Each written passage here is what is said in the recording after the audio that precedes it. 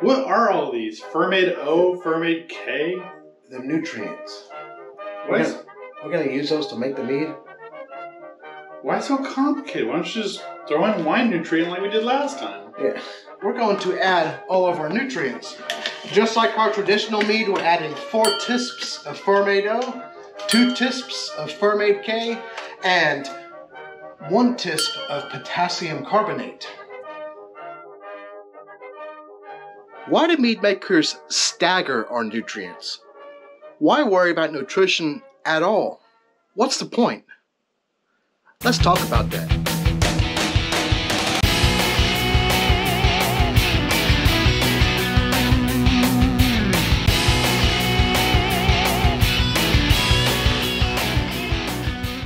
Now, you see, yeast is not a, a chemical reaction. Yeast is a fungus, it's a living, breathing organism. And in that respect, it's very similar to us as humans. There's an old saying man cannot live by bread alone. Now, I don't think that saying has anything to do with nutrition, but it is applicable to this discussion. See, if you eat bread and nothing but bread, 100% bread diet for your entire life, you will stay alive.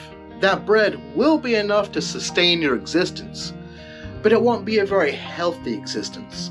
You won't have the proper energy levels, you won't be able to sleep properly, you won't be healthy, you'll be more susceptible to diseases, you'll be sickly all the time. So while you will stay alive, you won't get the proper nutrition for a good, healthy existence. Yeast is the same way. If you put yeast into something that contains sugar, that yeast will consume that sugar. It will ferment. But without proper nutrition, it won't be the most healthiest ferment in the world. The yeast will ferment, but they'll ferment sluggishly and sickly. You'll get lots of off flavors, lots of unwanted byproducts. You won't get the optimal fermentation that you're looking for. Now, I make mead. I make lots and lots of mead. Almost exclusively mead. I make a little beer. I make cider once in a while. I've never made wine. So I can't really speak too much on those topics. They aren't my specialty. But when it comes to mead, nutrition is very, very important. Now, once again, this isn't my specialty, so if I'm wrong, please correct me in the comments. But beer, you don't really need to worry about nutrition all that much.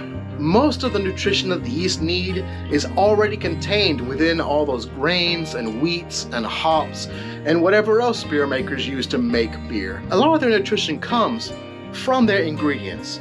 So they typically when you're making beer, you typically don't have to add even more nutrition. Enough nutrition for optimal fermentation is normally contained within all its ingredients. And I have never made wine, so I'm not sure what kind of nutrition goes into wine, but I'd love to hear your thoughts about that. So if any of you guys make wine, let me know in the comments what kind of nutrition you have to worry about when you're making wine. But when it comes to mead, nutrition is oh so important. You see, honey is very, very high in sugar. Honey is a super saturated sugar solution with approximately 17% water. Fructose is a predominant sugar at 38.5, almost 40%, followed by glucose at a little over 30%. You see, honey is almost all sugar and no nutrients. See, look at these nutrition facts. No fats, no cholesterols, no potassium, no vitamin D, nothing. It's all sugars, all carbohydrates.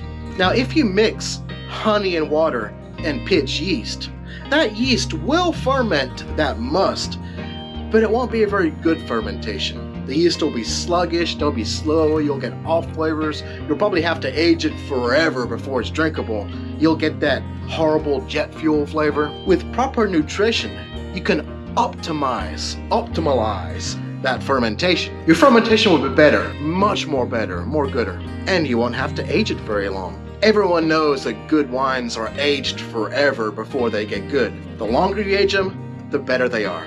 And that's the case, or that's usually the case with mead also. But the better your nutrition is, the less aging time you need. And with perfect nutrition, your mead will be good to go right after fermentation.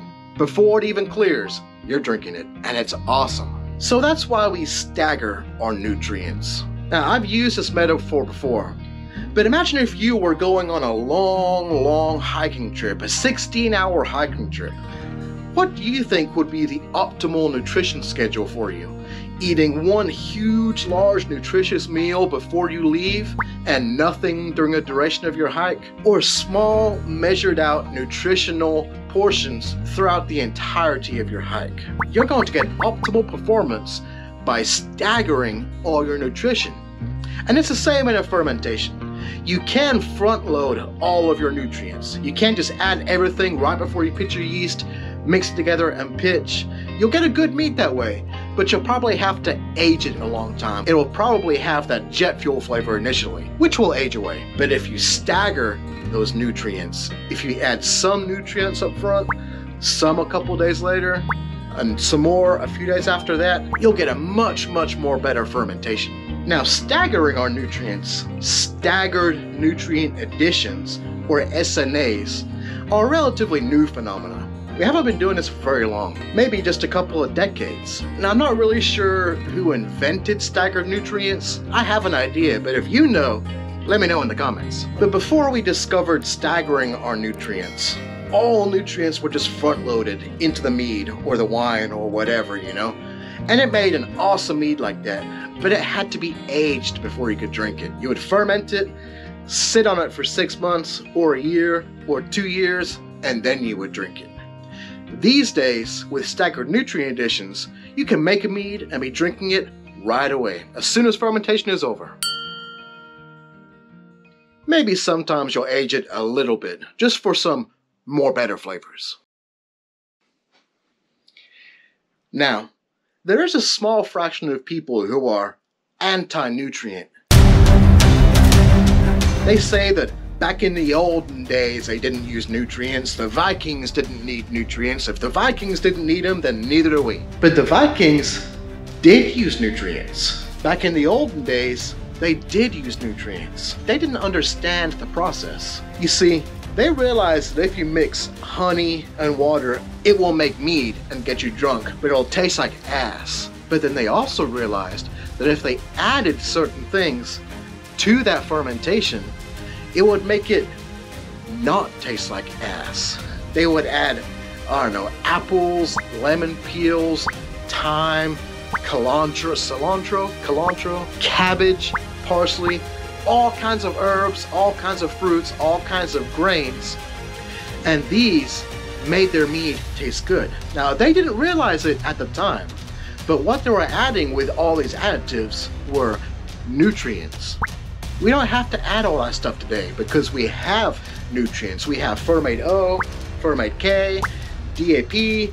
I don't really use DAP, but we have it. They didn't have all that back then. So they got their nutrition from fruits and vegetables and herbs and spices. They didn't know that's what they were doing, but they were. But rest assured, if they had Fermaid O and Fermaid K back in the olden days, they would have used it. I promise. You're so horribly good, Helga! So, the takeaway from all of this is that nutrition is a wonderful thing. It's important for us and it's important for yeast.